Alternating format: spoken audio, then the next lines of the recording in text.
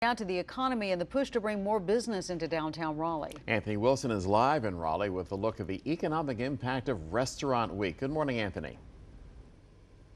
Good morning, John. First of all, you can avoid cooking meals at your home and provide some business for those restaurants that are participating in Restaurant Week. And it's happening too late, however, for Soca Latin Kitchen here in the Village District.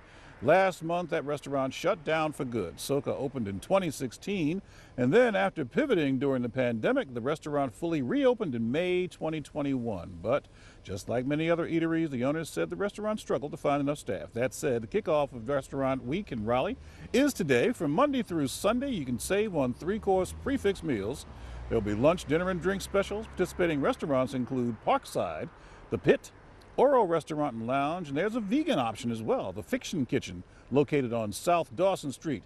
23 restaurants in all participating this year. That's down up from 19 last year, but still below pre-pandemic levels. And way back in 2019, the number of restaurants participating was 42. John and Barbara.